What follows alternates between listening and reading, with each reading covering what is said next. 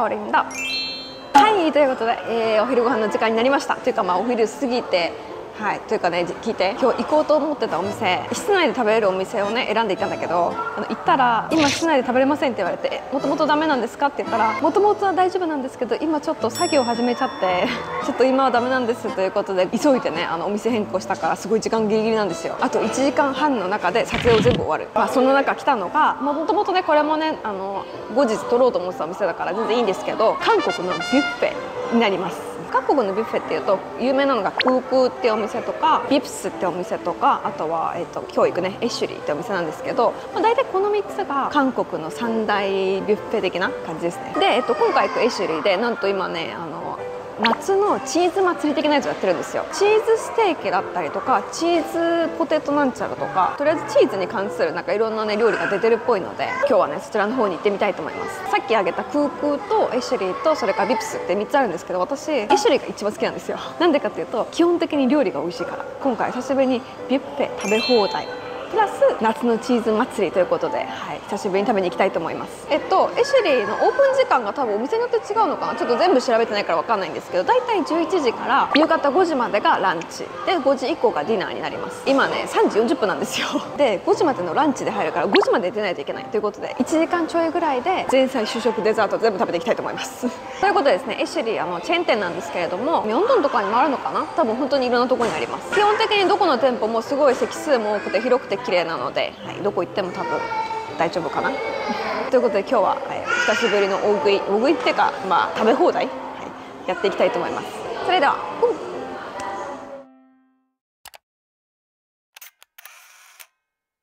じゃんここになります。アッシュリークイーンズ。ここです。じゃん平日ランチが D の53わあどこだ？お？どこだ？どこや？あそこかな。ここだ。D の53、えー、はいということで、まあ、なんとか無事に入ってこれたんですけどあと1時間ぐらいでねあのランチが終わってしまうのであのさささっと紹介して食べていきたいと思います。あと利用方法とかも食べながら説明するね。バタバタしてごめん。じゃんはいということでこちらアシュリーの人気のねすごい高いお寿司バーでございます。アボカド明太とか。え美味しそう。タコワサとかもあるし。うわ何これ。いなり寿司とあとなんかなんだっけ。中に剣にエゴマの葉が入ってる。これも美味しそう。カンペロールだって、えー、それから韓国人みんな大好き。サーモンです。これも美味しそう。見て。明太子とカンペ。エビとかカモこれは初めて見たクラゲの寿司だって。ミョンランハンチ寿司。無軍事寿司。え美味しそう。でそれからここが、えー、お蕎麦と一緒に食べるやつとかあとなんだっけここで言えばうどんとかサイコプスとかあとメニューそばお蕎麦が食べられるんですけど私前このメニューそばお蕎麦食べたけどあのちょっとあれでした。まあとりあえず寿司バーがこんな感じで。ここがソース？ボリ茶とか飲み物だねこれは。マンゴーラッシーとかあるよ。パッションフルーツジュースとか青りんごジュースとかプレーンヨーグルトそれからこれ野菜類ですね。かぼちゃサラダもあるし。これ柚子と茶芽のサラダだって。おビビンミョンもある。ここはフルーツ。リアルマンゴーマンゴーもあります。ここはスープ系なんですけどまあ、マッシュルームスープとかこれはアワビの内臓のあがゆだってちょっと気になる。クラムチャウダー、えー、かぼちゃのなんだっけおかゆ。これ台湾の豆腐ちゃんっていうなんか豆乳のスープらしい。あこれと一緒に食べるんか。それからこれヤンジャンピって言うんだけどごめん日本で何て呼ばれてるか分かんないわ。なんかタンミョンっぽいやつかな。こんにゃくサラダとかまあ、あとはこんな感じで料理系があってあとはゆっくり見せるね。これレンコンの寒風機なんだ。もやし炒めとかたこ焼きもあります。これは何だろう。海鮮が入ってるのかな？でこれで味付けするのかな？あードトリも草張りだ。これなんか冷麺の酸っぱい感じのスープのなんか冷たいやつなんだけどこれめっちゃ美味しいよ。多分。ここのは知らんけど。これはナスの炒め物とかおじんおおちんおとか？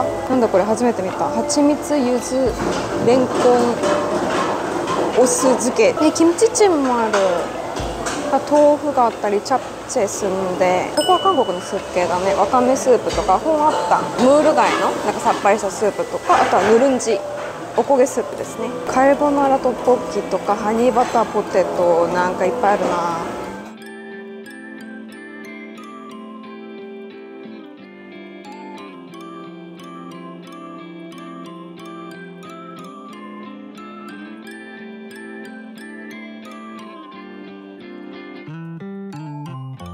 だこれ。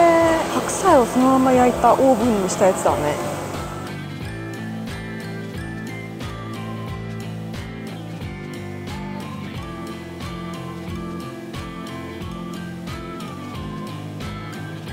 まあざっとこんな感じなんですけどあとはデザートコーナーデザート食べるときにお見せします。ということでじゃあ、えっと、細かいさっき見せれなかったものは私が撮りながらお見せしたいと思います。だけビュッフェに来たらお肉食べないとって言うけど私は絶対野菜食べる。レモンギーカムジャサラダ？ちょっと気になる。レモン好きとして。それからこれも気になるよね。チャメと柚子のサラダ。トマトも食べよう。体にいいから。トマトとはい、野菜はこんな感じでヤンジャンピってやつ何か分からんけど気になるタンミョンみたいな感じ。それからこれは麻婆豆腐だね。あ美味しそう。あご飯持ってきてえこれ美味しそうだな。麻婆豆腐美味しそう。いやサラダと同じ皿に盛るなって感じかな。まあいいよね。とりあえずこれで1皿です。2皿ぐらいさ持ってこうね、これはサラダだから、まあ、主食系をはい持ってきましょう。これは中華風の、えー、カニの炒めご飯だって。えさっきの麻婆豆腐とさ食べたら美味しそうじゃない？これは香港式のエッグヌードルホックミョンあなんかビーフンみたいな感じかな。ナスの揚げ物。やっぱね韓国のビュッフェですから。はいチャプチェ。それからこれがスンデ炒めですね。スンデ炒めも食べよう。ということでえっと本題はどこ行ったんやって感じだと思うんですがそうだ。これも食べたい。蜂蜜とレンコンと柚子とお酢のやつ。なんか美味しそうじゃない？そして、えー、っとね、今回ここに来た今回の理由ですよ。チーズのマークがついてるのが今回のなんていうのこのイベントというか今はチーズのねあれをやってるので食べたいと思います。うわうわなんかめっちゃハラペーニョの匂いがして美味しそうなんだけど。高カロリーって感じ。それからこのクランチタンバクチーズグラタン。このチーズグラタンもえっと今回のあれですね。スペシャルというかイベント品。あと私が気になったのはやはりアリオーリオ真ん中にのせよう。色茶色いな。メキシカンチーズハンバポテト。メキシカンポテトなんだ。どの部分がメインなんだろう。この部分食べればとりあえずメインかな。白いやつがメインなのかポテトがメインなのかわからんなステーキだ。えステーキと思ったからさ熱いやつなんかなと思ったけどとりあえずこちらのどこにのせようやっぱ配分間違えたわ。こういうね、あのー、計画性がないとこういうお皿入るのになってしまいますよ。はい。なんか寂しいなと思ったら飲むのがないですね。じゃんおゼロカロリーがある。オレンジのゼロカロリーにしよう。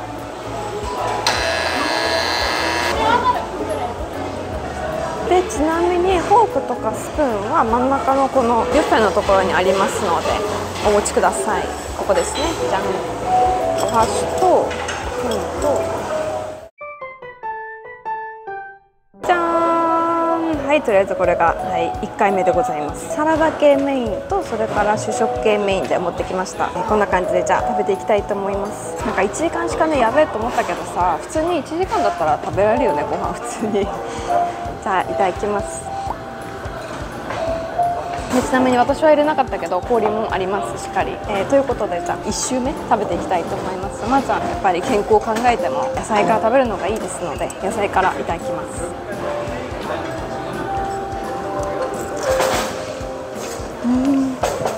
あのねここの、えーと、ごまソースごまドレッシングが日本のごまドレッシングとマジで味同じです。じゃあちょっと気になってたこのチャメのはいサラダですね。うんうん。なんか甘い野菜って感じ。うん。それからこれがレモンじゃがいもなんとか。麻婆豆腐の味になっちゃう。あ美味しい。うんうんありそれからトマト、うん、じゃあこれ気になってたヤンジャンピなんかさ中国タンメンみたいな感じなのかな。うん。うん？中国タンメンってもちもちじゃん。でもこれはグリって。もちもちじゃなくてこうなんかグリって感じ。サラダ全体的に正解ですね。麻婆豆腐。麻婆豆腐箸で食べるのどうなんて感じだけど。麻婆豆腐美味しい。これスプーン。えねえ。ここにさスプーンと箸あったんだけど普通に。ウケる。てかスプーンでか。この麻婆豆腐とさカニピラフ絶対美味しいじゃん。このはいカニピラフ。うん。思ったけどさアシュリーやっぱり、まあ、店舗にもよると思うけどクオリティ高いと思う。じゃあこの麻婆豆腐をはい。こっちに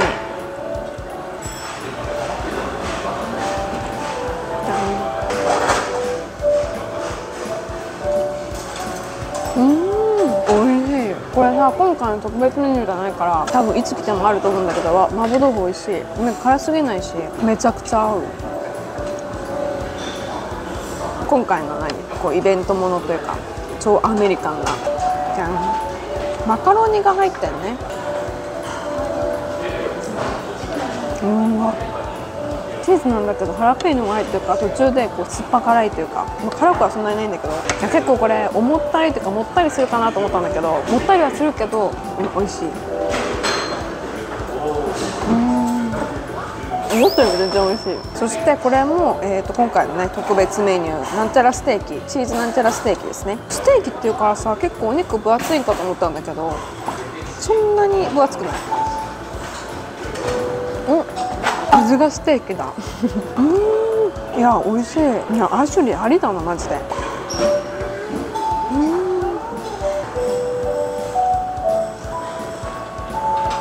あと今回のイベントものこれがえチーズのなんかかぼちゃのやつだった、うん、こんな感じ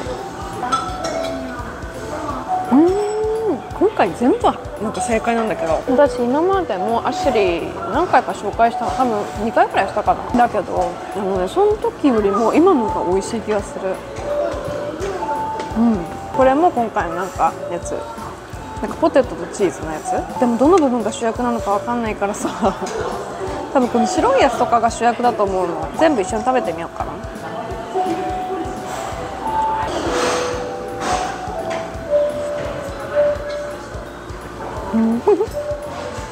どうしたの？全部美味しい。マジで。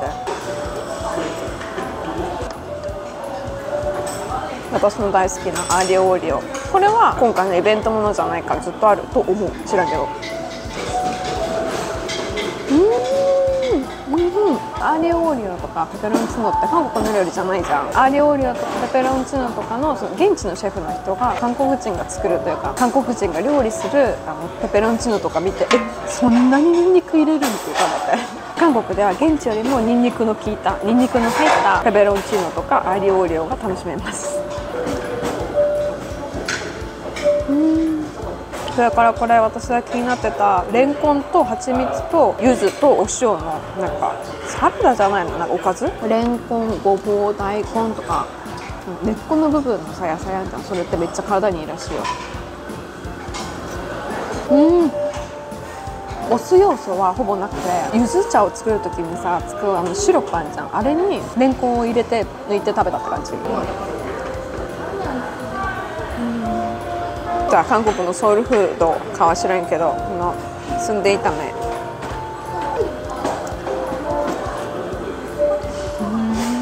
全然許容範囲ですよマジで。死んだフォークで食べたの初めてだわ。澄んで炒めってマジで本当に意味わかんないくらい辛いお店あるんだけどこんくらいだったら日本人でも挑戦しやすいと思う。ということでじゃあチャプチェ。最近見ないチャプチェですね。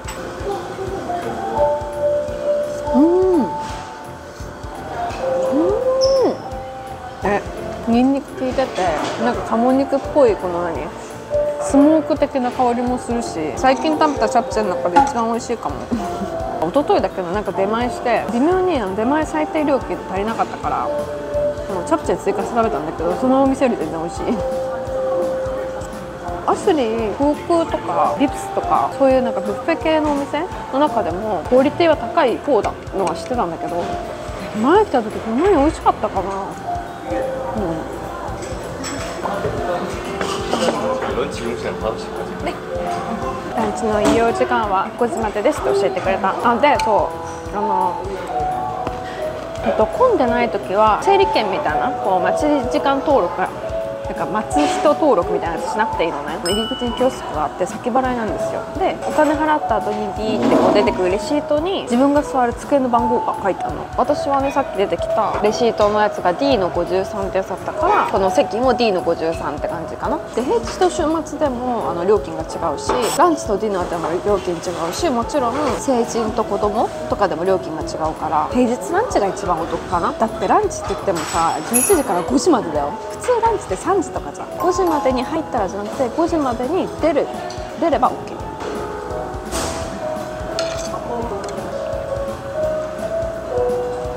追加1万5900円でこういうステーキも食べれるんだって。いや私ビュッフェってさなんか一個一個のクオリティが低い感じがしちゃってイメージ的にね。やっぱり専門店の方がいいなって思うところもあるけどいろいろ食べたいしなんかなんて言うんだろう。韓国のローカルってさローカルって意味は地元のじゃん？だからもちろん昔からある地元の人おなじみの老舗みたいなところももちろんローカル店って言うけどこういうさ韓国人が家族で来たりとかカップルで来たりとか実際観光客が全然来ないところもさ、まあ、ある意味ローカルだよね。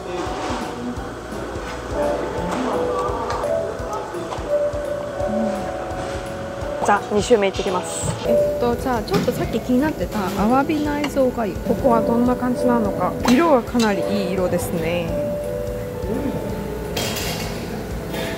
それからあと1個チーズ系。その今回のあのイベントものがこちらですね。チーズメロポニドピザってやつですね。えー、わー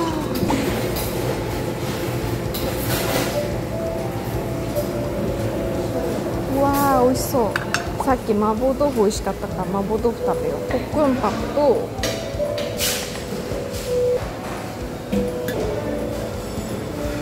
麻婆豆腐なのに豆腐1個も入ってないわ。よそいよそいベタ。じゃんはいじゃあこちらがねあのおかゆです。なんか色的には、うん、ちゃんと緑だね。なんかしかも熱い湯気出てて。うー。ん私がおすすめしたアワビガユのお店を食べたことある人はかなり物足りない薄い感じ。あそこのアワビガユを2倍に薄めた感じ。うん。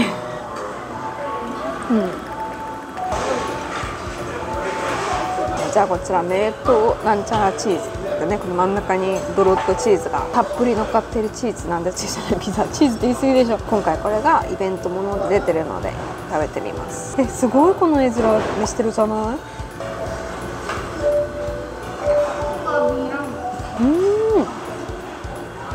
美味しいぞ。あと15分なのでじゃあこのねおかゆとこれ食べた後デザートいきたいと思います。で、うん、お寿司食べないんかいって思ったんだけどあの私もね今気がついた。メインのビュッフェコーナーとお寿司のコーナーが離れてるんですよ。だからちょっとね存在感が薄くて私も忘れてた。うん。マグロうまい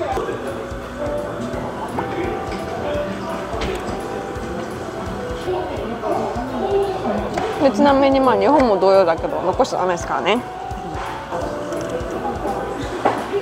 っていうかさ1万9900ウォン。だから約2万円あ2万円じゃない。2000円ぐらいでこんだけいろんなさあの国の料理とプラスある程度のクオリティ。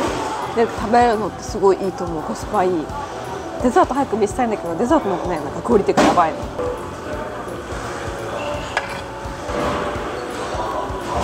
じゃんこちらデザートコーナーになります。やばくない？しかもこれだけじゃないからね。青ぶどうゼリー？ホームメイドショコラだって。これなんか普通のチョコなんかな？バスクチーズケーキとピスタチオシフォンサンド。なんか超クリスマスカラーなんだけどトロピカルヨーグルトイトゥンネス。なんだそれ。学校由来の名前らしいよ。それからカステラウォールナッツカステラとこれアシュリーのシグネチャーティラミスだってクッキークリームケーキとレモンパウンドケーキそれから、えーなんとここアイスクリームもありましてですね見てワッフル機もあるんですよやばない。ここでワッフル作ってあの何？ここで何？シロップとかかけるみたいなね。じゃあこれもあるのチョコレートタワー。やばくない？とりあえずワッフル気になるよね。ちょっと作ってみるわ。パイシップル80%うわブシャってここに入れてスタートボタンを押すんだって。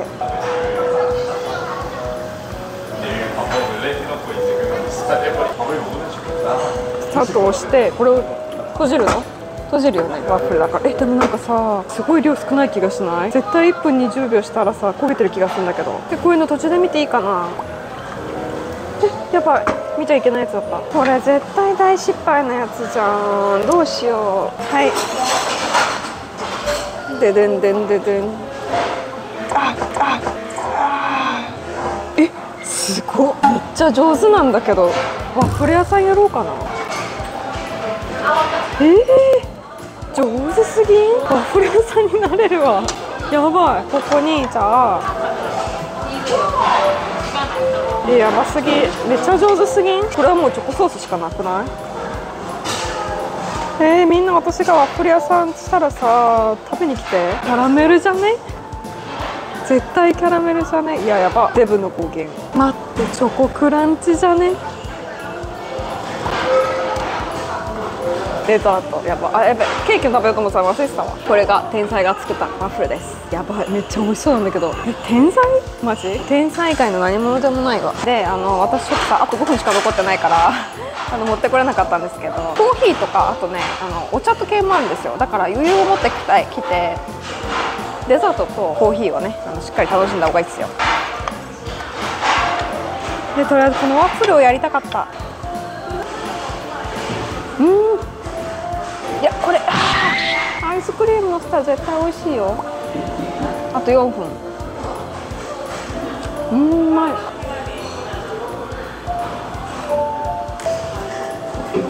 ダメよ。妥協はダメ。だってあと4分もあるんだもの。ダメ。あったかいワッフルと冷たいアイスをは我慢できない。食べ合わせの天才だからこういうのすぐ気がついちゃうからね。冷たいアイスとワッフル。やばいマジで時間ない。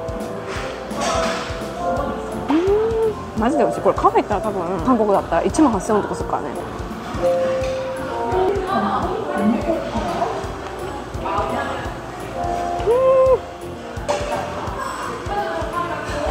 週末は分からんけど前平日の時は5時までランチってだけでだけで時間制限なかったんだよね。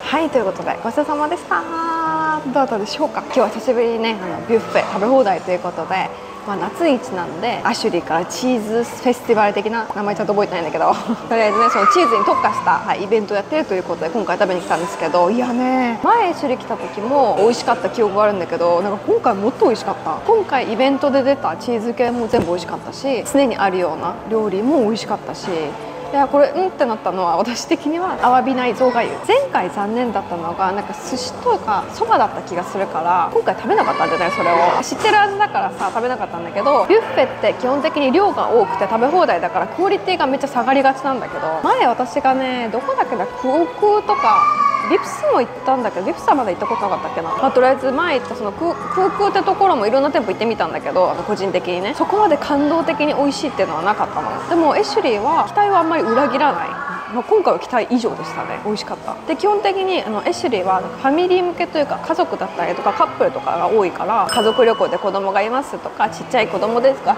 小さい子供を連れてきてますとかいう人も全然利用して OK です。利用して OK というか利用しやすい。確か子供用の椅子とかもあった気がするな。前ちょっと見た気がするけど今回ちゃんと見なかったな。最後のワッフルがマジ大度満足すぎた。本当に美味しかった、まあ、ということで今回はねご飯からカフェデザートまで、えー最後まで楽しめるエシュリーのチーズ特集でしたそれでは今回もご視聴ありがとうございました그러면오늘은여기까지終わり